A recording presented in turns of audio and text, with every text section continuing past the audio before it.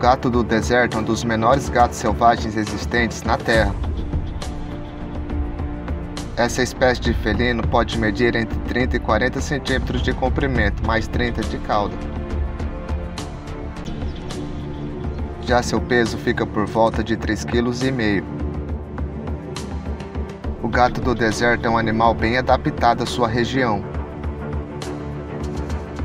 Isso vai desde desertos do Oriente Médio como o Saara, passando pelo Irã, Afeganistão, Turquestanistão e Paquistão.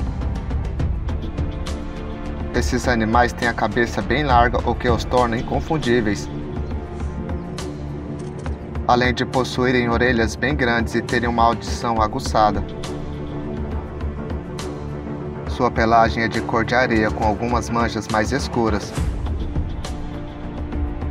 Ao contrário dos demais felinos, a ponta de suas patas é totalmente coberta por pelos.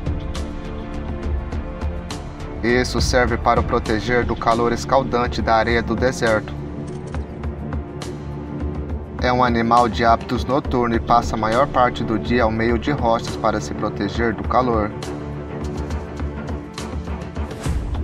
Suas presas preferidas são roedores, lebres, aves, serpentes, largatos, aranhas e insetos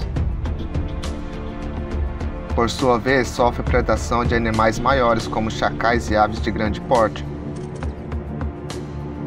Já em relação ao homem, ele sofre com a caça ilegal para a comercialização de sua pele ou até mesmo para servir como animal de estimação.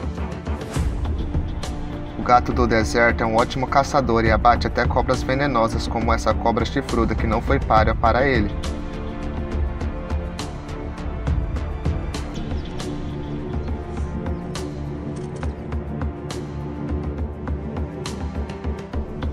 Esses animais não podem ser domesticados, já que em cativeiro eles são muito sensíveis a doenças respiratórias, como a infecção no trato, a principal causa de sua morte.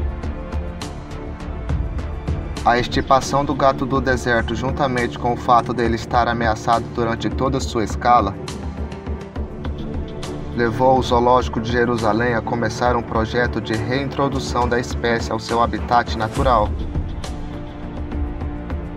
sendo que o monitoramento dessa espécie após a soltura foi conduzida pela equipe ecológica criativa e por Israel.